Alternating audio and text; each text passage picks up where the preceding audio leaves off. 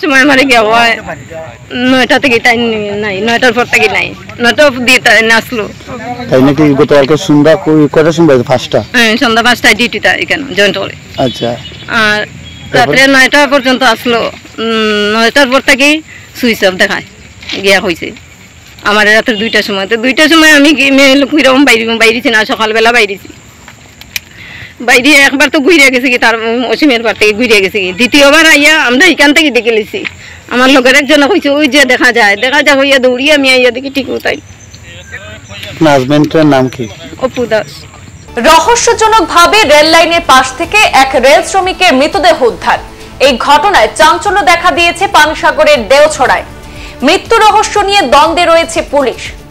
বিবরণে জানা গেছে মঙ্গলবার সকালে ত্রিপুরার পানিসাগর থানাধীন উত্তর দেওছড়া দুই নম্বর ওয়ার্ডের রেল লাইনের পাশে আটচল্লিশ বর্ষীয় অপু দাসের মৃতদেহ উদ্ধারকে ঘিরে এলাকা জুড়ে চাঞ্চল্য দেখা দিয়েছে।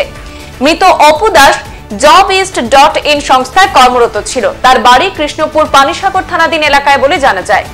মৃতের এক সহকর্মী জানান, গতকাল অর্থাৎ সোমবার রাত নটার পর থেকে অপু দাসের মোবাইল ফোন সুইচ অফ ছিল। পরে তাকে খোঁজাখুঁজি শুরু হয়। রাত একটায় কর্মস্থলের পাশে অপু দাসের জুতো জোড়া পাওয়া যায়। তারপর জুতো পাওয়ার স্থান কাকরি নদী ব্রিজের আশপাশ এলাকা তন্ন তন্ন করে খোঁজাখুঁজি করা হয়। সেই জুতোর সূত্র ধরে খোঁজাখুঁজির পরও তাকে সেখানে পাওয়া যায়নি। পরবর্তীতে আজ মঙ্গলবার ভোরের দিকে রেল লাইনের পাশে অপুদাসের ক্ষত বিক্ষত মৃতদেহ উদ্ধার হয়। এ বিষয়ে অপুদাসের স্ত্রী বিথিকা দাস জানান, তার স্বামীর মৃত্যু স্বাভাবিক নয়। তাকে কেউ পরিকল্পিতভাবে হত্যা করেছে বলে সন্দেহ প্রকাশ করেন তিনি। তার দাবি, তার স্বামীকে অন্য কোথাও খুন করে রেল লাইনের পাশে ফেলে রাখা হয়েছে। অপরদিকে ধর্মনগর রেল পুলিশ ঘটনাস্থল থেকে মৃতদেহ উদ্ধার করে ময়নাতদন্তের জন্য ধর্মনগর জেলা হাসপাতালে মর্গে নিয়ে যায়।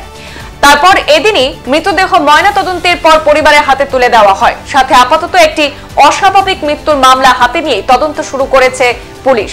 গোটা ঘটনায় এলাকা জুড়ে তীব্র চাঞ্চল্য বিরাজ করছে। আমরা আপডেট থাকে গ্রুপ আপডেট থাকে তাই না? বেশি মোবাইল ইউজ করতে পারে না। মানে থেকে আপডেট পাই নাই আর কি আর দশটার সময় দিছে মানে নয়টা পঞ্চাশে দিছে। তারপর আর কি যেমন কি মানে গ্রুপ আপডেট নাই কত সময় পরে পরে দিতে লাগে। তারপর ওই সাইডের গার্ডে কল করতেছে তাইনটা তো পাইতেছে মানে প্রসেস সিগনাল দেয় না। যেমন গার্ডে গার্ডে সিগনাল মিলাইতে লাগে। তখন পাইছে না যখন তখন তুমি একবার আও। তো তাই কোনো সময় এখানে আর এখানে একটা বালুয়ার স্কুল আছে এখানেও হয়তো বা গিয়া বয় রেস্টগুলো দেখছি এখানে নাই, তারপরে এদিকে আইসি আই এখানে গার্ডের লোকে মিলছি। তেমন সে এখন তুমি দেখছ? হয়, তাই দেখছি? আমি এখানে তাই লোকে মিলিয়া, আমি হয়েছে দিয়ে গেছি গিয়া। এখানেও গেছি গিয়া আইসি তাই নাই। তো এখানে আমার আরেক দুজন গার্ড আছে গার্ডের দিয়া আমি সময় ব্যাক করতাম, আমার ধর্ম স্টোরে যাইতে লাগে। আইসি তাই স্টোরে যাইতে পারছি না, আমার গার্ডে ফোন করে তাই জুতা পাইছি। ওইখানে মানে এখান থেকে কমসে কম আরও এক কিলোমিটার হয়েছে জুতা পাইছি। জুতা খাটা, জুতার মধ্যে কোনো কিছু নাই। তারপর কি করছে, আমরা হ্যাঁ পরে হয়েছে আরেকজন গার্ড আছে সিরিয়াল ওয়াইজ এ পাইছে আরেকটা জুতা। এক কিলোমিটার দূর হয়ে জুতার থেকে তা ভাবছি আমরা হইসাইডের দিকে যাই। পুরো তুকাই তুকাই গেছি। গিয়ে পরে স্টেশনের যে গার্ড আছে স্টেশন গার্ড থেকে দৌড়িয়ে পুরো ওই সাইডে আমরা কমসে কম পাঁচ থেকে ছয়জন আসলাম। কিচ্ছু পাইছি না। আর আপনারা কি বাজে? যে জায়গার মধ্যে বডিটা আমরা স্টেশন এখানে যেমন কাকরি ব্রিজ আছে কাকরি ব্রিজ থেকে আইতে আইতে আমরা পাঁচটা বাজে। মানে কয়টা থেকে খোঁজাখুঁজি শুরু হয়েছে? প্রায় একটা। একটা থেকে পাঁচটা পর্যন্ত খোঁজাখুঁজি ডিউটি কটার থেকে শুরু হয় সাড়ে পাঁচটা।